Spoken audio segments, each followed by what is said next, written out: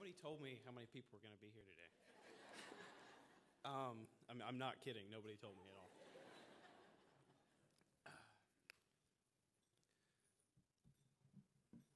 So, people ask me all the time about the school that I went to. For a lot of people, it blows their minds when I tell them that at Rockingham Early College High School, students can earn a college degree while in high school.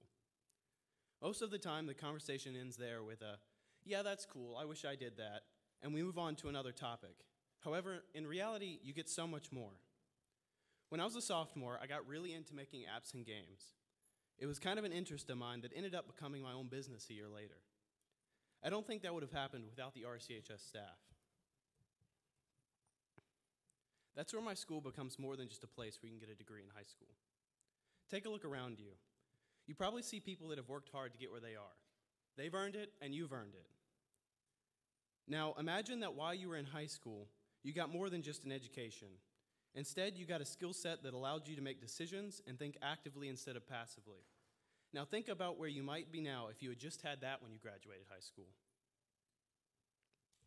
Every teacher at RECHS interacts with their students differently than just about everywhere else I've ever been. The teachers want to see you grow from both an educational standpoint and a professional one, and that changes the ball game. You need a place where a student can feel that they aren't a student. You need a place where the student can be the teacher and the teacher can be the student, where learning, goes, where learning goes both ways, and that's when you realize information is pliable. Suddenly, you step out of the school and you step into the real world. Why? Because that's how real life is. You don't sit and learn from someone else all day in your career. Use information actively.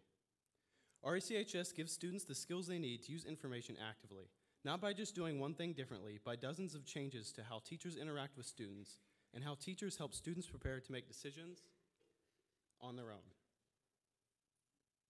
When I first started at RECHS five years ago, it was only the third year the school was open. And naturally, we had communication difficulties. There was a lot of miscommunication, and we were spread out across several buildings. Within two years, we had solved pretty much all of the problems. I haven't heard a single student complain about communication in about two years now, and that's impressive for what we do. And it's that example that I think that teachers at RECHS are conveying to their students, how to solve problems and communicate. As for me, I got the message. I never had a single day that I couldn't go to school with a problem and not come home with help. From help picking college classes to help testing apps that I had written I had always had the ability to toss problems in the air and know that someone would show me how to find a solution. What this means is that when I graduated a few weeks ago, I had more than just an education.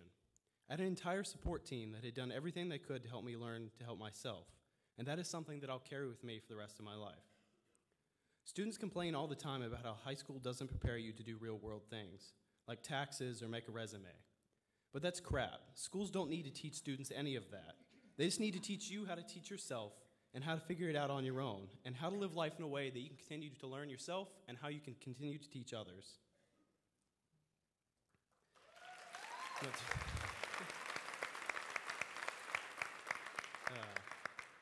For me, I took what I got a step farther. I don't know if this is something every student can do, but every school should be preparing you how to do it. I built my own software company in high school. I've worked on hundreds of projects and have customers all over the globe. I was able to take on those problems and those, take those problem solving skills that I learned and create something useful from educational tools to fun to play games. I've also been fortunate enough to work my way into the makers community in Greensboro, um, which is known as the Forge. And if you guys don't know that, it's basically a shared workspace. Um, they're 3D printers and laser engravers. Um, and what that's led to me doing is working at part time for a company called Fusion 3 in Greensboro. Um, and we're the only 3D printer manufacturer in the area.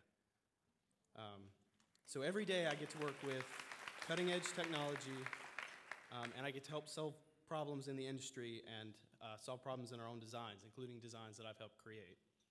Um, and that's where the full circle is made. I wouldn't be this far if it wasn't for the skills and inspiration from Rockingham Early College High School. I'm proud to say I went there, and I'm proud to say I look forward and know that I can do it. Thank you for your time today.